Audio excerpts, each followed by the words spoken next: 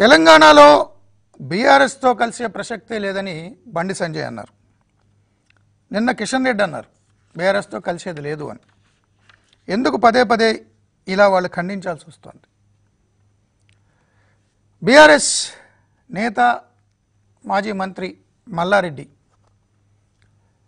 Malkajgiri seat ఖచ్చితంగా తన కుమారుడికి వస్తుందని బీజేపీతో పొత్తు ఉన్నా కూడా ఆ సీటు మాత్రం బీఆర్ఎస్కే వస్తుందంటూ వ్యాఖ్యలు చేశారు. ఇది పెద్ద ఎత్తున కలకలం రేగింది. అంటే బీజేపీతో పొత్తుకెళ్తున్నట్టు ఆ పార్టీ నాయకుడే స్వయంగా ప్రకటించారు.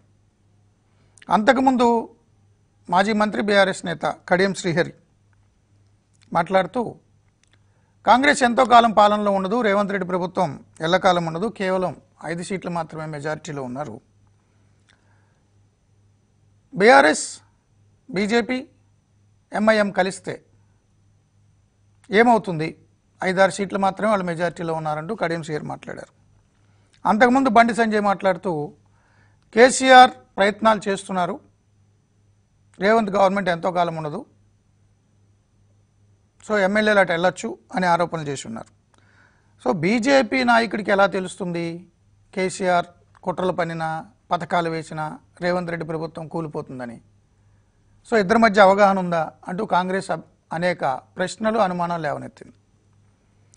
ఈ నేపథ్యంలో లోక్సభ ఎన్నికల్లో బీఆర్ఎస్తో బీజేపీ పొత్తు పెట్టుకుంటుందా? దక్షిణాదిన బలపడడానికి ప్రయత్నాలు చేస్తోందా? ఇద్దరు చంద్రులతో కలువ పువ్వు స్నేహం చేస్తుందా? అటు ఆంధ్రలో చంద్రబాబు నాయుడు ఇటు తెలంగాణలో చంద్రశేఖరరావు. రకరకాల వార్తలు స్ప్రెడ్ అవుతున్నాయి. ఈ అంశాలకు సంబంధించి ఈరోజు డిబేట్ డిబేట్లో పాల్గొన్నారు కాంగ్రెస్ పార్టీ సీనియర్ నాయకులు టీపీసీసీ ప్రధాన